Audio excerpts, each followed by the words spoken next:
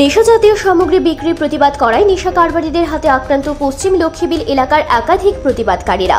ঘটনার বিবরণে জানা যায় নেশাজাতীয় সামগ্রী বিক্রি করায় বিরোধিতা করতে গিয়ে নেশা কারবারিদের হাতে আক্রান্ত একাধিক ব্যক্তি।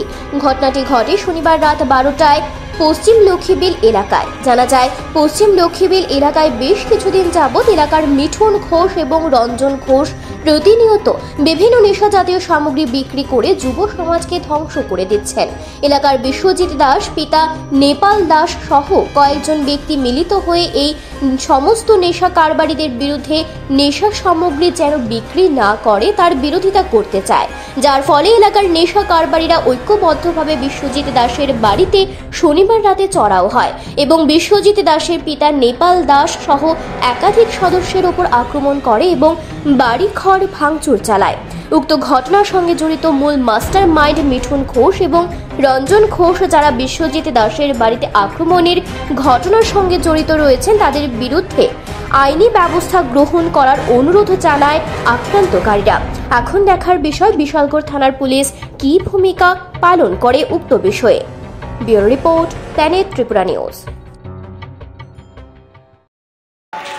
আমার দোষ একটা জিনিস ওই, একটাই ভুল আমার, যে যারা নেশাগার বাড়ি আছে, মিঠুন, রাজন, ওরার বিরুদ্ধে আমি আমার গ্রামের লোকজন নিয়ে সেটা একটা অ্যাকশন বা ওদের বিরোধিতা করতাম চাইছিলাম। এবার ওইটা করতে গিয়ে সেটাই আজকে কৌশিক আর ফেরদুস মিল্লা সে ঘটনাটা ঘটাইছে।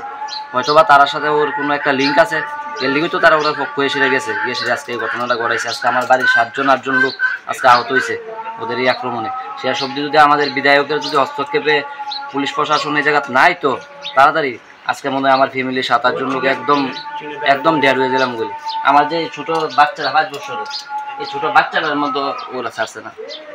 গত জিনিসটা এখন মনে হয় না, কারণ ওটা তারা যে নেশা কারবারি জিনিস আছে, ওই নেশা কারবারি জিনিসের উপরেই তারা এই জিনিসটা করছে।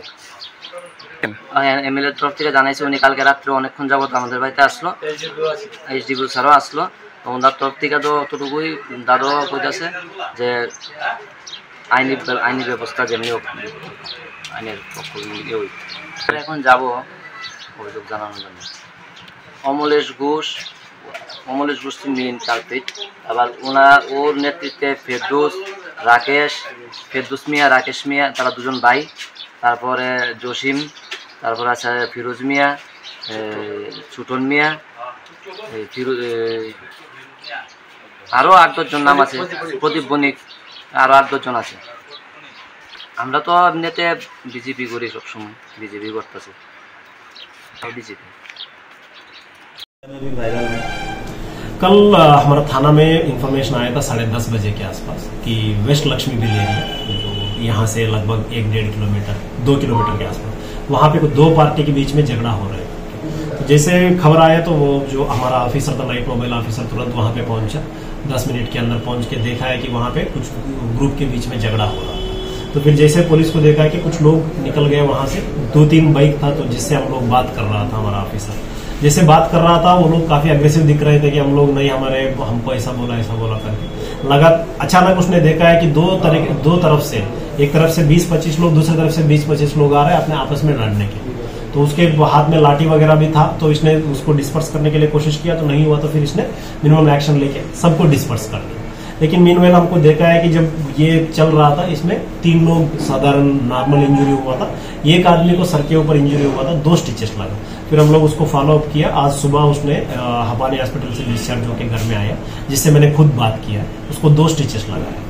तो इसको, इसका बेसिक जो, इसका बेस जो है घटना का जो मेन ये है कि एक एक ग्रुप ने एलिगेशन दे रहा था दूसरा ग्रुप को, जो मेन मिथुन और रंजन घोष करके। ये लोगों ने एरिया में नार्कोटिक्स आइटम या अदर लीगल एक्टिविटी कर रहे हैं। इसी को लेकर झगड़ा हुआ है।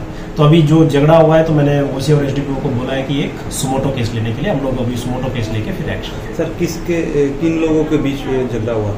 ये मिथुन घोष और रंजन घोष दो लोग जो है इन लोगों ने एक विश्वजीत करके है तो जिसका पिताजी का नाम है नेपाल दास करके वहाँ उन उनके घर में इन लोगों ने अटैक किया करके अभी हमारे पास इंफॉर्मेशन है। इसको लेके हम लोग एक सुबह सर इसमें क्या कोई कम्युनल इशू था? क्योंकि एक वीडियो वायरल हो रहा है कि मुसलमान लोगों ने हिंदू के घर में घर तोड़ रहे हैं ऐसा करके। मैं मीडिया के माध्यम से आप सबको अपील किया जा रहा हूँ तो ये वैसे कोई इसमें कोई कम्युनल एलिमेंट नहीं था। वहाँ पे जो लोग दोस्त थे इनके, इनका एक दो दोस्त थे जो मुसलमान थे। उसके अलावा कोई इसमें हिंदू और मुस्लिम का ये झगड़ा नहीं था।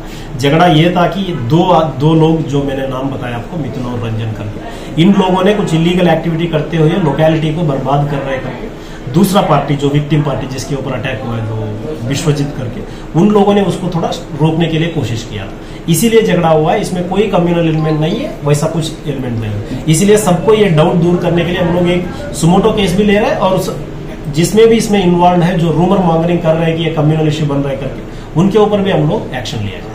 सर जो अगवा आ रहा है, उनके खिलाफ कोई हम लोग सोशल मीडिया में मॉनिटर कर रहे हैं डिस्ट्रिक्ट से भी। अगर जिसने भी ये ऐसा रूमर स्प्रेड कर रहा है उसके ऊपर वेरी स्ट्रिक्ट एक्शन होगा। हम लोग इसके ऊपर एफआईआर भी रजिस्टर करेंगे अगर कोई ऐसे तरीके से कर रहे कर मैं आपको रिक्वेस्ट करूँगा आपने भी बोल दीजिए उस एरिया में मैं खुद विज़िट करके आया हूँ।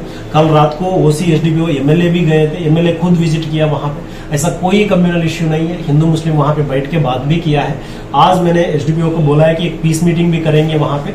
तो एसडी एसडीएम ऑफ़िस में पीस मीटिंग भी करेंगे ताकि ये सब कोई रूमर स्प्रेड सर जो आ, मतलब घायल हुए उनका नाम विश्वजीत विश्वजीत करके। उन्हीं से मैंने अभी बात भी करके आया है। बाकी दो तीन लोगों का घायल हुआ करके बोला है सिंपल इंजरी उसका भी नाम अभी आपको